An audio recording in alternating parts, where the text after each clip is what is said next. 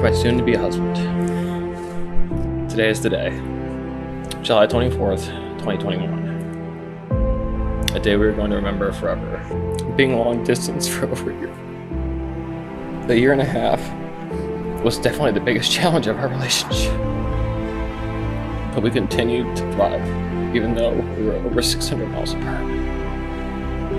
Emily, the true measure of why I know we are meant to be together is because I can't imagine my life without you.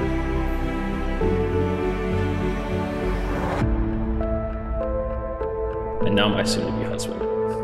I'm so excited to see you today and finally marry you. I love you, babe. Love Emily.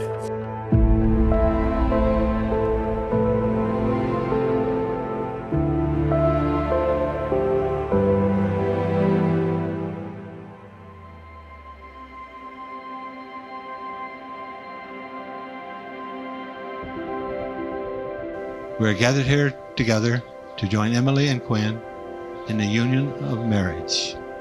This contract is not to be entered into lightly, but thoughtfully and seriously, and with deep realization of its obligations and responsibilities. May the wedding rings you exchange today remind you always that you are surrounded by enduring love. Emily, you take Quinn to be your husband, to have and to hold from this day forward, for better or for worse, for richer, for poorer, in sickness and in health, to love and to cherish from this day forward till death do you part.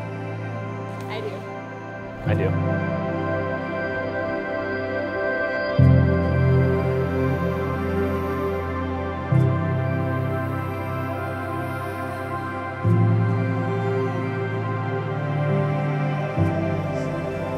What a crazy four years it has been.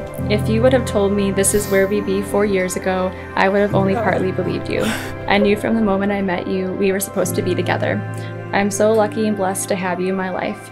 I want you to know that I am home when I am with you. Home is every little thing that reminds me of you. In fact, it's a lot like love. I can't wait to create that loving home with you because you are my missing piece.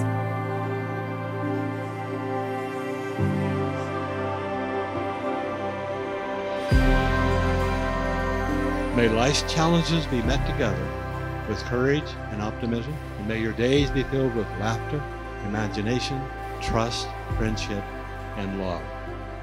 It is now my pleasure, by the power invested in me by the state of Wisconsin, I now pronounce you husband and wife.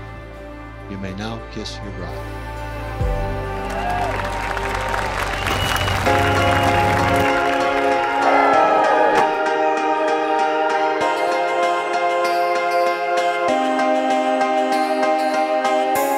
I already knew, just after that first date, that Quinn was going to earn a special place in Emily's heart.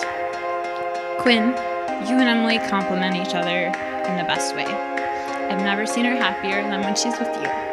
And I have to say that I knew that there was something special when I saw the way that Quinn looked at Emily.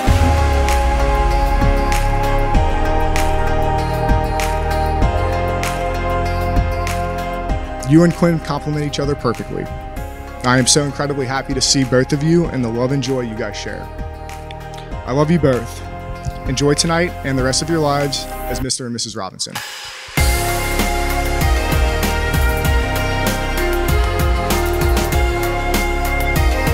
thing I remember the most is that he's always been so good to her. Life is a journey, and knowing the two of you are going on this journey together, I know you'll find your way together hand in